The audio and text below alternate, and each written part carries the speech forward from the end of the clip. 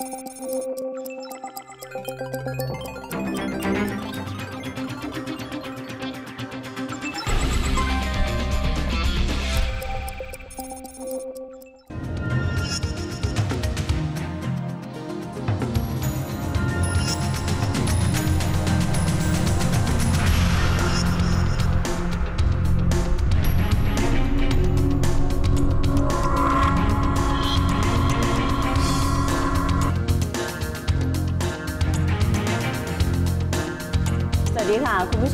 กับรายการ Hard Topic นะคะ วันนี้เราพาคุณผู้ชมออกมาสัมภาษณ์อีกหนึ่งธุรกิจนะคะ ซึ่งถือว่าเป็นธุรกิจตอนนี้ได้ถูกจัดเข้าไปอยู่ในดัชนีความยั่งยืนของโลกนะคะ ก็คือ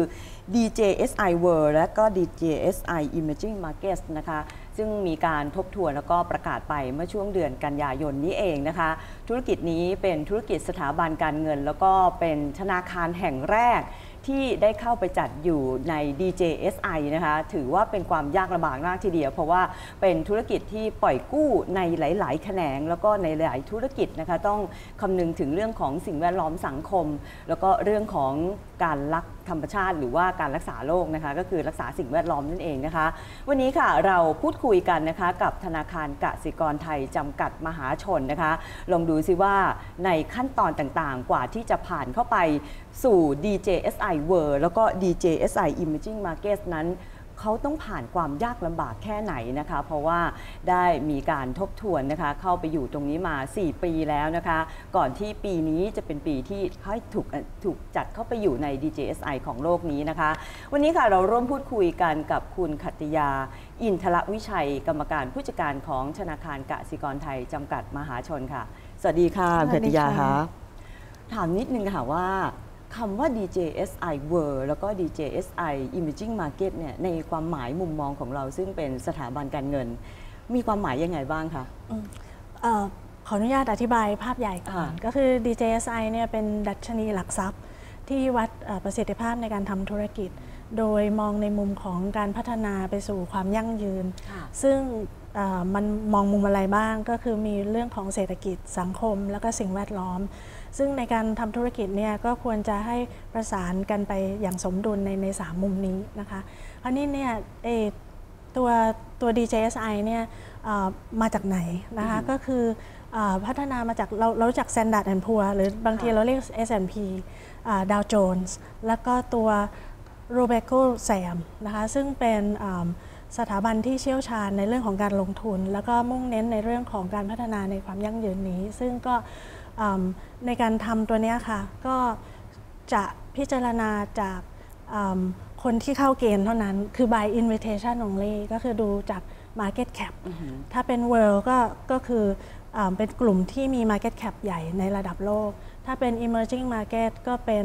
market cap ที่ใหญ่ในกลุ่มที่เป็น emerging market คราวนี้ DJSI เนี่ยไม่ได้มีแค่ world กับเอ่อ emerging market ก็จะมีในมุมของที่เป็นอ่าเป็น world เป็น North America ค่ะนะคะเป็น Asia Pacific เป็น emerging market เป็นเกาหลี แล้วก็เป็นออสเตรเลียเพราะฉะนั้นก็จะมีอ่า DJSI ในหลาย ๆ กลุ่มด้วยกัน ซึ่งค่ะก็จะมีมาตรฐานแตกต่างกัน ในการพิจารณาหรือมาตรฐานเดียวกันคะก็จะมีแบบสอบถามค่ะนะคะก็อืมที่เราจะต้องประเมินกัน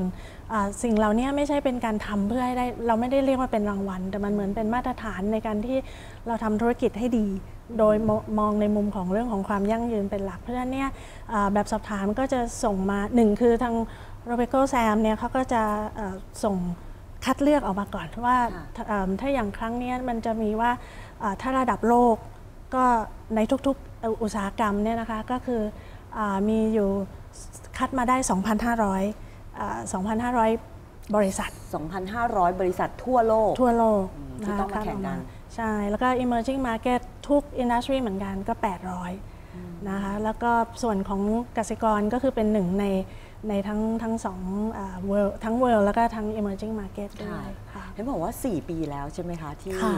จะบอกจะจะเรียกว่าเป็นอะไรคะที่เรามีการทำเอ่อคือ checklist อะเพื่อให้เป็นไปตามมาตรฐานเนี่ยใช่ไหมคะค่ะ แล้วเขาก็มา checklist เราด้วย ใช่ใช่ก็จะเป็นแบบสอบถามเนี่ย80 ถึง 120 ข้อแล้วแต่แล้วแต่ค่ะ เอิ่มเอ่อแตแต่ละ industry แล้วก็แต่ละปีหัวข้อบางอันก็ drop ไปบางทีมันก็มีหัวข้อใหม่เข้ามาคราวนี้ 4 ปีเนี่ยจริง ๆ โดยเฉลี่ยเนี่ยเอ่อมาตรฐานเนี่ยก็เอ่อ ถ้าจะผ่านมาตรฐานส่วนมากก็จะใช้เวลา 4-5 ปีนี่แหละค่ะก็ในการที่จะค่อยๆทำแล้วก็ปรับปรุงพัฒนาไปเรื่อย ๆ แล้วให้ได้นั่นขอย้อนถามกลับนิดนึงว่าทำไมเราสนใจที่เราอยากจะเหมือนจะเรียกว่าสมัครได้ไหมคะในการที่เราก็อยากจะเช็คลิสต์ตัวเราเองเหมือนกัน แล้วให้เขามาเช็คลิสต์เราด้วยว่า เราก็อยากจะเข้าไปอยู่ใน DJSI World แล้วก็ Emerging Market ด้วย ค่ะ ก็เอิ่มอย่างที่ว่าคือเขา ต้อง by invitation เพราะฉะนั้นเนี่ยเราต้องเข้าเกณฑ์บางอย่างของของทางเอ่อ DJSI ก่อน แล้วเขาก็ค่อยส่งมาว่าอยู่สนใจเขาเชิญชวนไหมเราใช่ไหมคะค่ะสนใจอ๋อคราวนี้เราก็เนื่องจากว่าจริง ๆ แล้วเนี่ยในการทำธุรกิจจริงๆทำธุรกิจอะไรก็ตามเนี่ยมันมันควรจะทำให้ได้ดี แล้วก็มองไปในภาพของความยั่งยืนว่าเอ่อบริษัทควรจะอยู่อย่างยืนยาว เพราะฉะนั้นเนี่ยในการที่เราเตรียมตัวเพื่อให้ได้มาตรฐานนี้เนี่ยอ่า การได้มาตรฐานก็เป็นเป็นสิ่งที่ทำให้รู้ว่าเราเราทำได้ดี แต่ว่าถ้าจะทำให้ได้ผลตอบแทนต่อผู้ถือหุ้น แล้วก็ stakeholder ที่เกี่ยวข้องทั้งหมดได้ดีเนี่ยมันต้องมองอย่างนี้อยู่แล้วนะคะเพราะฉะนั้นเนี่ยไอการที่จะเข้าไปในเกณฑ์พวกนี้มันก็เหมือนกับว่าเราจะได้รู้ด้วยว่าจริงๆ แล้วมาตรฐานสากลมันคืออะไรนะคะแล้วเราก็พยายามมีด บีทให้ตัวเองเนี่ยเข้าไปสู่มาตรฐานมันได้ค่ะก็ก็เป็นคือยังไงทำธุรกิจได้ตามมาตรฐานสากลเป็นเรื่องดีอยู่แล้วค่ะ DJSI ก็คือที่สุดของโลกแล้วแหละอืมในการที่จะวัดใช่ไหมคะฉะนั้นค่ะถ้าเราเข้าไปอยู่ได้เนี่ยเราก็ต้องบอกว่าเราก็คือที่สุดแหละ เพราะก็คือที่สุดของโลกก็เป็นตัวที่ชี้วัดในเรื่องของดัชนีความยั่งยืนก็คือธุรกิจเราก็คือค่ะเข้าแนวความยั่งยืนด้วยค่ะทีนี้เวลาที่เราทำเนี่ยเราต้องไปเอ่อ แข่งกับ 2,500 บริษัท แล้วก็อีก 800 บริษัทในตลาดค่ะ Imaging ใช่ไหมคะค่ะ2,500 เนี่ยเป็นธนาคารพาณิชย์เนี่ยติดอยู่เยอะไหมคะอืม2,500 เป็นถ้าเป็น World เนี่ยเข้ามา 193 ธนาคาร ผ่านเกณฑ์ 20 27 ค่ะค่ะ ประมาณนั้นแล้วก็ถ้าเป็นเออของ Emerging จำเลขไม่ได้ถนัดร้อยแปดร้อยแปดธนาคาร แล้วก็ผ่านสักสิบกว่าธนาคารเท่านั้น นะคะที่ผ่านมาตรฐานได้ค่ะค่ะ คือพูดง่ายๆก็ต้องหินพอสมควรเหมือนกันนะคะอืมในแต่ละปีแต่ละปีที่เราได้มีการเช็คลิสต์ดูที่เราได้ทำตามมาตรฐานเขาเนี่ยสปีที่ผ่านมาเนี่ยคือมันต้องทำหมดเลยไหมคะพอเช็คไปแล้วว่าเนี่ยเราได้ทำนั่นเท่ากับแต่ละปีแต่ละปีนี่เขาเขาจะตามดูทุกปีเลยป่ะคะใช่ค่ะ ก็จะดู ประเมินในหลาย ๆ มุม สมมติอย่างเรื่องเศรษฐกิจเนี่ยค่ะเขาก็จะดู performance ดู risk management ดูในมุมเอ่อหลาย ๆ มุมด้วยกัน ถ้าทางด้านสิ่งแวดล้อมก็ก็จะเป็นเรื่องของเอ่อ climate เอ่อเรื่อง policy ในเรื่องของเออการดูแล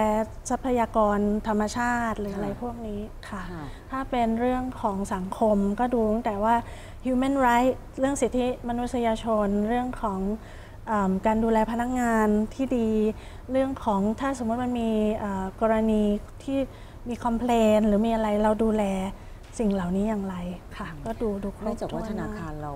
คือคอหลักก็ยังเป็นการปล่อยกู้นะคะค่ะแล้วก็ปล่อยกู้ไปในหลายธุรกิจด้วย สงสัยว่าได้มาได้ยังไงคะเพราะว่านั่นเท่ากับเราต้องไปดูทั้งซัพพลายเชนเราเลยที่ทำอือะมอืมใช่ไหมคะในเรื่องของการปล่อยกู้ค่ะก็จะต้องไม่ใช่เป็นธุรกิจที่เกี่ยวข้องอย่างเมื่อสักครู่ที่คุณกัตยาพูดมาถึงเลย ใช่ จริงๆ supply มี chain เนี่ยยังไงมีมีข้อหนึ่งเลยที่อยู่ในเรื่องของเกณฑ์ของเรื่องสังคมค่ะเพราะฉะนั้นเนี่ยเขาเขาดูครบถ้วนจริง นะคะคราวนี้อ่าถ้าพูดถึงว่าเอ๊ะแล้วเราปล่อยสินเชื่ออย่างไรให้กับโครงการที่อืมอาจจะดูมีแนวโน้มที่จะไปแตะเรื่องของสิ่งแวดล้อมค่ะหรือหรือกระทบกับอ่าคนบางกลุ่มเนี้ยนะคะก็อ่าจริงๆ แล้วเนี่ยก่อนที่ธนาคารจะปล่อยสินเชื่อเนี่ยอ่าเราดูอยู่แล้วว่าโครงการแต่ละโครงการเนี่ยผ่านเกณฑ์ที่เป็นมาตรฐานไหม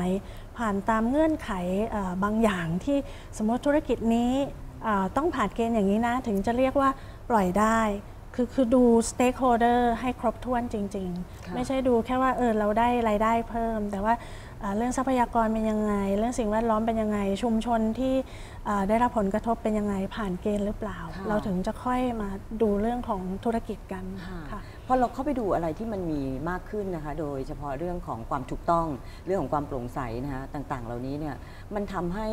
การแข่งขันของเราเนี่ยเราเราเราจะศักยภาพของเราสู้ สู้คู่แข่งได้ไหมคะกับการที่เขาอาจจะไม่ได้ดูอะไรมากเท่ากับกฎเกณฑ์มากเท่ากับตรงนี้ค่ะจริงๆอืมเรียกยังไงดีคือจริง ๆ เราทำมาตลอดอยู่แล้วค่ะไอ้เรื่องของการดูแลวิเคราะห์เอิ่ม corporate governance หรือ risk management เนี่ยทำมาโดยตลอด เพราะฉะนั้นจริง ๆ แล้วมันอาจจะไม่ได้เป็นแค่ว่า 4 ปีนี้ที่เพิ่งที่จะได้อ่ามาตรฐานนี้แล้วมันเลยทำให้เราแข่งขันไม่ได้จริง ๆ เราทำมาโดยตลอด และเราก็เชื่อด้วยว่า ถ้าการทำไปตามมาตรฐาน เนี้ยใน long term ในระยะยาวแล้วเนี่ยเราน่าจะยืนยืนได้อยู่ไม่ไม่ไม่แพ้ใครอะค่ะ ประมาณนั้นค่ะโปรเซสในการที่ทาง DJSI เขาเข้ามาดูเนี่ยเขาทำอะไรบ้างคะอืมคือคือถ้าไล่ตั้งแต่ 4 ปีที่ผ่านมา มันก็จะมีอย่างที่ว่าเมื่อกี้คือมีแบบสอบถาม แล้วมันมีเกณฑ์ที่มีรายละเอียดเยอะมาก แล้วก็อ่าสิ่งที่เราเตรียมเนี่ยค่ะ มันคือว่าจริง ๆ เราทำอยู่แล้ว แล้วก็เชื่อว่าจริง ๆ แล้ว ทุกๆอ่าบริษัท หรือทุก ๆ ธนาคารเนี่ยก็ก็ทำอยู่เหมือนกัน เพียงแต่ว่าเราจัดระเบียบข้อมูลให้มันอยู่ในลักษณะคำถามหรือแบบสอบถามให้มันดูชัดเจน แล้วก็สอดคล้องอะไรกับกับโจทย์ที่เขาถามก็ก็ค่อยๆ ชัดขึ้นเรื่อยๆ แล้วก็ดูในเรื่องของบางเรื่องอย่าง policy อาจจะมีจริง ๆ มีทำอยู่แล้วปฏิบัติอยู่แล้วค่ะแต่ไม่ได้เขียนเป็น policy ที่ชัด เราก็เอามาเขียนจ้ะ ให้มันชัดเจนมากค่ะขึ้น เขาดูหมดเลยไหมคะอืม เขาดูอะไรบ้างคะคุณติยาโอ้โหเกณฑ์เยอะมากจริงๆค่ะ ก็ในดูในในด้านไหนในมิติไหนบ้างคะสำหรับการการในในองค์กรเราในเรื่องของการทำธุรกิจในเรื่องของการทำเพื่อสังคม อืมดูดูครบถ้วนเลย สมมติอย่างเรื่องเศรษฐกิจเมื่อกี้ก็คือ1คือดู performance อยู่แล้ว ค่ะ ดูเรื่อง risk management อ่าดูในเรื่องของการจัดการ ต่างๆ ทางด้านเรื่องของ performance ทางด้านการเงินทั้งหลาย ถ้าเป็นเรื่องออสิ่งแวดล้อมเนี่ยค่ะเขาก็จะดูเลยว่าเรามี policy เรื่องอ climate หรือเปล่า ดูเรื่องของว่าในการทำธุรกิจจริง ๆ แล้วเนี่ยทุกอย่างทุกๆของการทำธุรกิจหรือแม้แต่ไม่ใช่ทำธุรกิจกับลูกค้า แต่ว่าสมมุติเราเราจะต้องดูเรื่องระบบ น้ำเสียเรื่องระบบไฟฟ้าอะไรต่างๆ พวกนี้ค่ะเราพิจารณาคือในการมองทุกมุมเนี่ยอยู่ในการทุกอนูของการทำงานหรือเปล่า อย่างนั้นเลยค่ะหรือถ้าเป็นอย่างเรื่องทรัพยากรเมื่อกี้คือสมมติเรื่องถ้าเรามี dispute กับหรือหรือมี complain มาเรา handle อย่างไร ถ้าเรื่อง human right เราดูแล สิทธิมนุษยชนเราดูแลอย่างไร มีความชัดเจนไหม เรื่องสังคมอีกมุมหนึ่งคือ financial inclusion ค่ะซึ่งคือหมายถึงว่าอ่าเราอาจจะไม่ได้ปล่อยสินเชื่อกับกลุ่มที่ที่เอ่อธนาคารเข้าไม่ถึง แต่ว่าอย่างน้อยระบบ payment ระบบเงินต่างๆเนี่ยเราสามารถที่จะสามารถอำนวยความสะดวกให้กลุ่มที่ระดับกว้างทั่วประเทศเนี่ยสามารถเข้าถึงการเงินได้ คือประเมินเยอะมากจริงๆค่ะสี่ปีทำไมต้องใช้เวลาถึง 4 ปีล่ะคะในการที่เราก็ตอบแบบสอบถาม ก็มาเช็คก็อยู่เรื่อยๆเช็คก็อยู่เรื่อยอืมอืมๆทำไมต้องใช้เวลาตั้ง 4 ปีคะก็เอิ่มจริง ๆ ต้องเรียน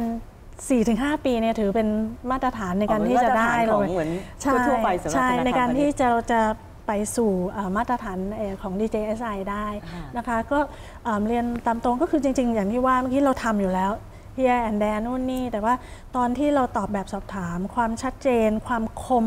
ในคำตอบที่ที่จะตอบให้มัน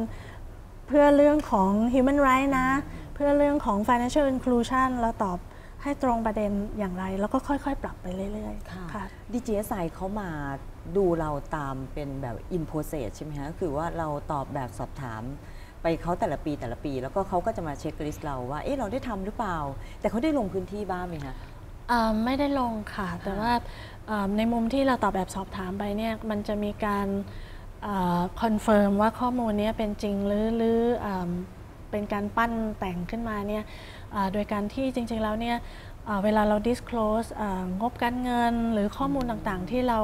อ่าแจ้งต่อสาธารณชนเนี่ยเขาจะเอามา validate ว่าจริง ๆ แล้วเราทำอย่างนั้นจริงหรือเปล่าค่ะ รวมไปถึงเรื่องกิจกรรมต่างๆด้วยไหมคะที่เราบอกว่าเราดูแลสังคมดูแลสิ่งแวดล้อมมค่ะอันนี้เขาก็ดูตามตามตามสื่อต่างๆ ที่เราได้มีการเปิดเผยออกใช่มาค่ะซึ่งสมมุตินะคะอย่างเช่นอ่าปัจจัยสำคัญหลักๆ ที่ทำให้สำเร็จเนี่ยอ่าอันหนึงคือของกรรมการธนาคารเขาก็จะดูเลยว่ากรรมการธนาคารให้ความสำคัญเรื่องนี้จริงหรือเปล่า ในการประชุม ซึ่งมันจะมีรายงานการประชุมอยู่แล้วที่แจ้งตลาดหลักทรัพย์ หรืออะไรแบบนี้เพราะฉะนั้นเนี่ยเขาจะดูเลยว่าในการประชุมของคณะกรรมการธนาคารเนี่ยมีการคุยเรื่องนี้มากน้อยอย่างไรนะคะแล้วก็ถัดลงไปก็คือแล้วในการทำงานทุกๆวันทำงานทุกๆชิ้นทุกๆดีล business ที่ที่ทำเนี่ยได้สอดแทรกการพิจารณาในมุม 3 มุมนี้หรือเปล่านะคะและก็เรามีการที่จะมีการวัดผล ตั้งเป้า แล้วก็พยายามบีทเป้าหมายของตัวเองคือเป็น continuous improvement หรือเปล่าค่ะแล้วก็สุดท้ายก็คือเรื่องของพนักงาน ซึ่งก็เอิ่มได้มีส่วนร่วมมากน้อยขนาดไหนนะคะซึ่งเราก็จะมีเอ่อโครงการที่เป็นเอ่อ DNA ของเรานะคะ ที่เราจะไปนั่งนับชั่วโมงกันว่าพนักงานเนี่ยทำความดีอ่าต้องรวมกันแล้วได้ 20,000 ชั่วโมงทำกิจกรรมที่แบงค์ทำกิจกรรมเลยใช่ไหมนะคะ แล้วก็เราก็อนุญาตด้วยว่าให้ให้ลาไปทำความดีได้ แล้วก็เอาชั่วโมงกลับมานับนะคะเพราะฉะนั้นเนี่ยมันคือตั้งแต่ระดับท็อปไปจนอ่าระดับถึงพนักงานค่ะทำไม เขาว่ากันว่าสถาบันการเงินเนี่ยธนาคารพาณิชย์เนี่ยได้ค่อนข้างจะยากมากใช่ไหมคะอืมที่จะเข้าไปอยู่ใน DJSI World หรือแม้กระทั่ง DJSI Imaging Market เพราะอะไรค่ะคะอืม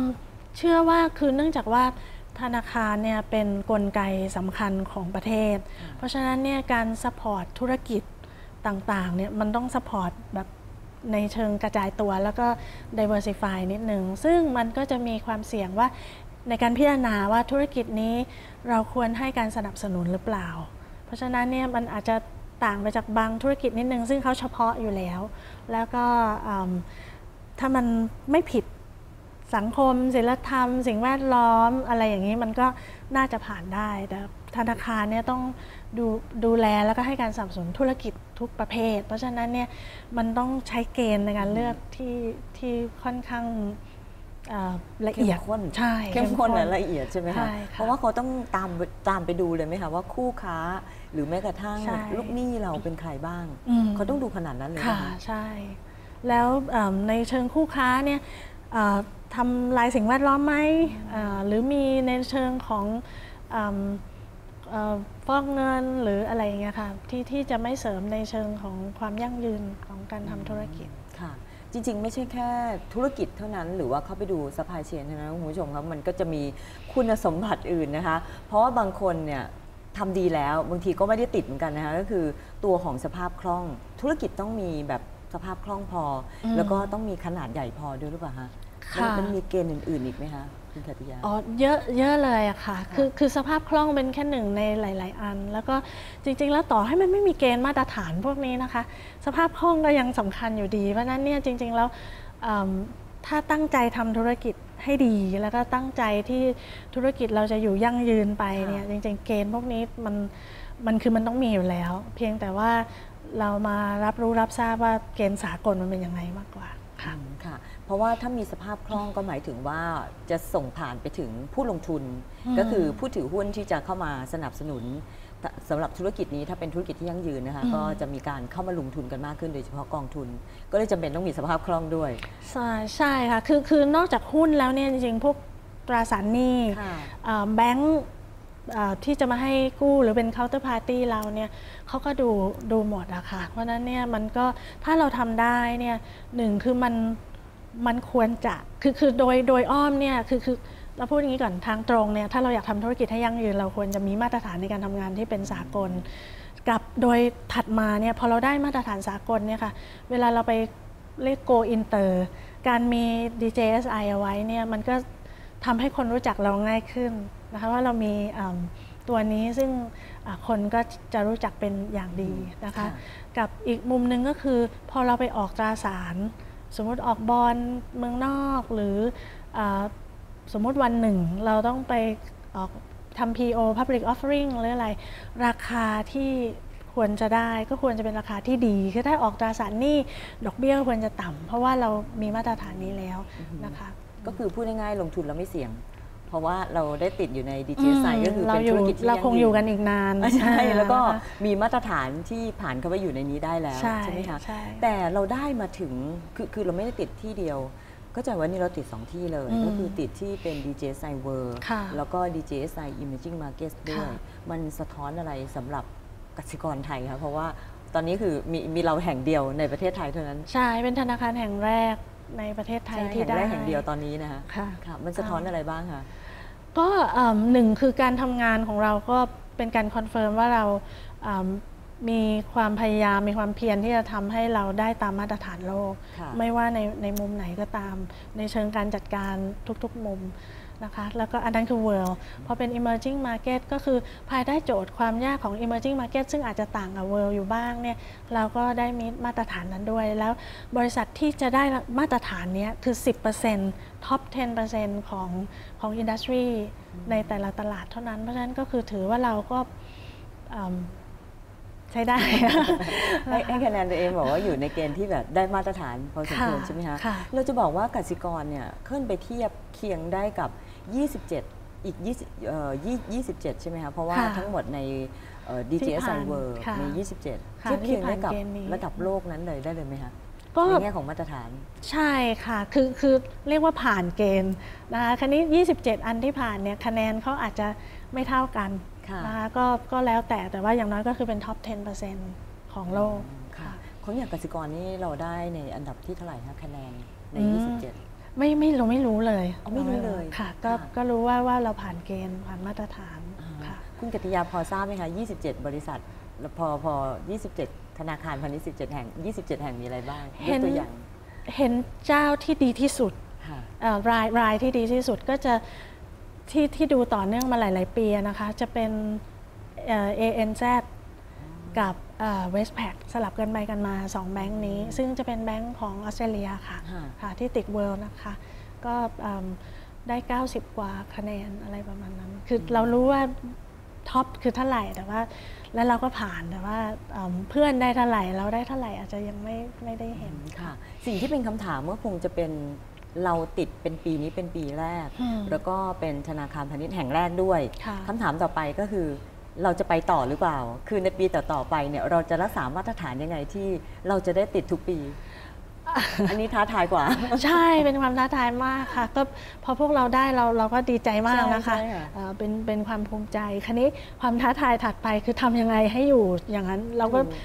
ตอนนี้เราก็เริ่มคุยกันแล้วว่าเราจะทำยังไงให้เราได้ได้อยู่หลังต่จากอ หลังจากติดปุ๊บนี่ต้องคุยเลยจะอยู่ไงต่อ ใช่ค่ะ ในปีเพราะว่าต่อไปเพราะว่าเกณฑ์เนี่ยมันไม่ใช่ว่า เราบีทคะแนนตัวเองปีหน้าแล้วทำให้ดีขึ้น หรือแม้กระทั่งบีทเพื่อนๆที่ที่ได้ไปแล้ว เพราะว่าอืม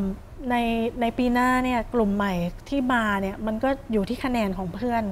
ด้วย คือมันไม่ได้แข่งกับตัวเองอย่างเดียวมันแข่งกับเพียร์ด้วย ซึ่งมันคือท็อป 10%เพราะฉะนั้นถ้าเพื่อนดีมากเพื่อนพัฒนาตัวเองไปดีมากจะทิ้งเราเราก็ดีเหมือนกันแต่เราอาจจะไม่ทัน เราอาจจะตก แล้วมีหน้าใหม่เข้ามาเนี่ยเราอาจจะตก 10%นี้ก็ได้ อะไรอย่างนี้เพราะฉะนั้นก็ต้องเป็นอืม moving target ที่ที่เราต้องต้องทำให้ดีขึ้นไปเรื่อยๆอะค่ะค่ะค่ะ คุณกิติยามีเทคนิคไหมคะว่าทำยังไงคะในการตอบถึงแบบเข้าไปติดอยู่ใน DJSI World แล้วก็ Imaging Market ด้วย คือต้อเทงคนิคอะค่ะเทคนิคเราเราเรียนเราเรียนเราเรียนรู้มา แล้วเราก็เชื่อว่านะคะจริง ๆ ทุกบริษัท ที่ที่อยู่ในลิสต์แต่ว่าวันนี้อาจจะยังไม่ได้ผ่านเกณฑ์มาตรฐานเนี่ยจริง ๆ ทุกคนทำอยู่แล้วนะคะเพียงแต่ว่าภายใต้คำถามหรือว่าสิ่งที่แบบสอบถามเขาถามมาเนี่ยถ้าเราจัดให้เป็นระบบ แล้วก็พอที่จะรู้ว่าจริง ๆ แล้วการที่ในการทำเนี่ยค่ะมันจะมี step ของเรื่องของการว่าหนึ่งเรามี policy ไหม แล้วเราส่งผ่านลง policy เนี่ยลงมาที่ผู้ปฏิบัติงานอย่างไร มีการวัดผลไหมนะคะแล้ววัดผลแล้วมีการมอนิเตอร์ติดตามบ่อยแค่ไหน และเอาผลนั้นเอามาปรับปรุงให้ดีขึ้นอย่างไร ถ้าถ้าเราสามารถไปในในแนวทางนี้แล้วก็เขียนในการตอบคำถามนี้ได้ก็ก็จะดีคราวนี้เบื้องต้นเนี่ยมันต้องดูว่าเรามี stakeholder เยอะ คือผู้ถือหุ้นเนี่ยเป็นอะไรที่เราต้องตอบโจทย์อยู่แล้วอ่าว่าเราต้องสร้าง return ที่เป็นอืม sustainable profitable อ่าอ่าให้กับผู้ถือหุ้นค่ะแต่ว่ามันยังมีอีกหลาย stakeholder นะคะ regulator อะหมายถึงผู้อ่าผู้กำกับดูแลผู้กำกับดูแลเราผู้กำกับดูแลใช่ชุมชนนะคะค่ะลูกค้าพนักงานอ่าเอ่อ ทรัพยากรต่างๆ ที่ในอนาคตเนี่ยถึงแม้วันนี้เรายังมีมีกินมีใช้ แต่ว่าอืมประชาประชากรในยุคหน้าเนี่ยถ้าเราไม่ได้ดูแลเรื่องทรัพยากรเขาจะยังมีใช้อยู่ไหมคือต้องดูค่ะให้หมดค่ะอืมแน่นอนนะคุณผู้ชมค่ะถ้าสังคมอยู่ไม่ได้ ก็ธุรกิจก็คงอยู่ไม่ได้เหมือนกันนะคะ ฉะนั้นถ้าสังคมดีธุรกิจก็ดีไปด้วย สิ่งที่สำคัญก็คือเมื่อสักครู่คุณขัตยาพูดมาหน่อยแล้ว ผู้ถือหุ้นนั่นเอง หลายท่านที่ชมรายการอยู่คงมีคำถามเหมือนกันแล้วผู้ถือหุ้นได้อะไรกับการที่กสิกรไทยนั้นขึ้นไปอยู่ใน DJSI World หรือแม้กระทั่ง DJSI Imaging Market นะคะ เดี๋ยวช่วงหน้าเราจะกลับมาคุยกับคุณขัตยากันนะคะว่า การที่เข้าไปอยู่ในดัชนีความยั่งยืนนั้น มันสะท้อนคุณค่าอะไร ให้กับตัวกิจการบ้าง แล้วสะท้อนกลับมาเป็น value ยังไงนะคะสำหรับผู้ถือหุ้น เราพักกันสักครู่เดี๋ยวช่วงหน้ากลับมาค่ะ you